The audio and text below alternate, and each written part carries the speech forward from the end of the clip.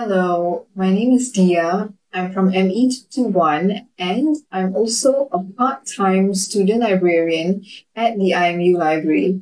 So today uh, I'm here to talk to you about one of the books from the acclaimed current series of McGraw-Hill Education, which is Current Diagnosis and Treatment, Gastroenterology, Hepatology, and Endoscopy third edition.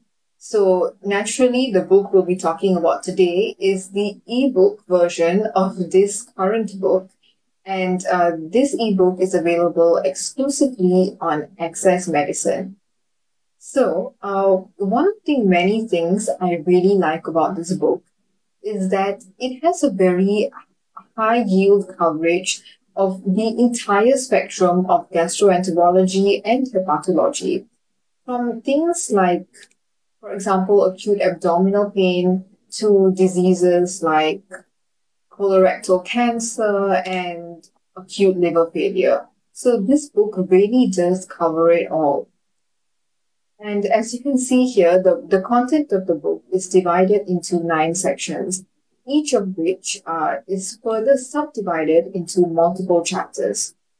So if you were to go into one of the chapters, for example, chapter one, acute abdominal pain, basic principles and current challenges. So,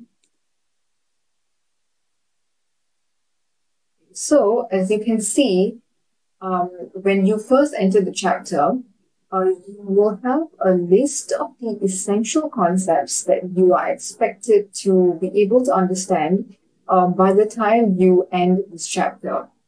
And uh, Okay, after the essential concepts section, uh, the chapter is uh, further divided into other sections like acute abdominal pain in the elderly, non-surgical disorders, evaluation of the abdomen, acute appendicitis, and finally with presentations of appendicitis.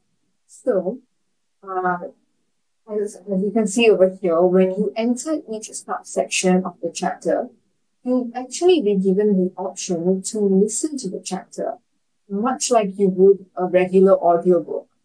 So not only that, but each chapter actually comes with a list of figures or diagrams that you can use to, um, you know, really grasp the concept that you're trying to learn.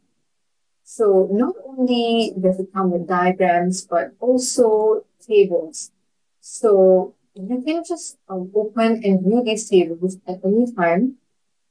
For example, the one I just opened over here, uh, yeah, on differential diagnoses of acute abdominal pain.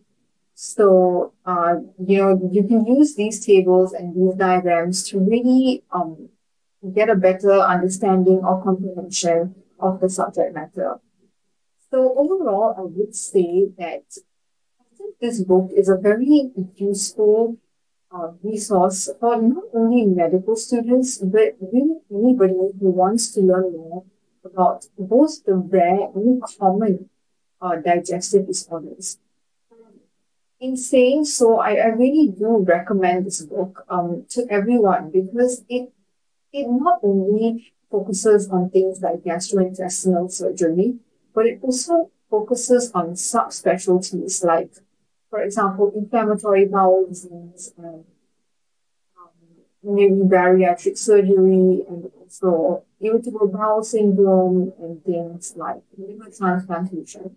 So it does cover a, and, and provide you with a very wide range of information. Okay, so that was it for this book review. I hope you enjoy the book and again, uh, thank you so much for watching.